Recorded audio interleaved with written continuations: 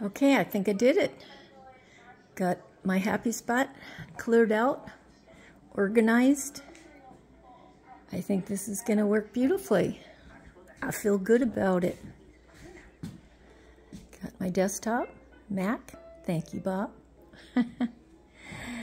my extra iPad, because I'll need that. Zoom calls. Heat press sublimation printer. And the closet. It was a disaster. It even has empty bins in it. What? It's a miracle, just saying. I feel good about it. Then, organize this a little bit. This is for my uh, friendship bracelet beads happy spot. And then this closet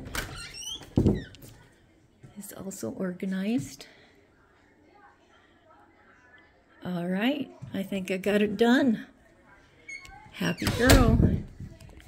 It really wasn't that big of a job. It's just to start. So there you go. All done. I feel good about it.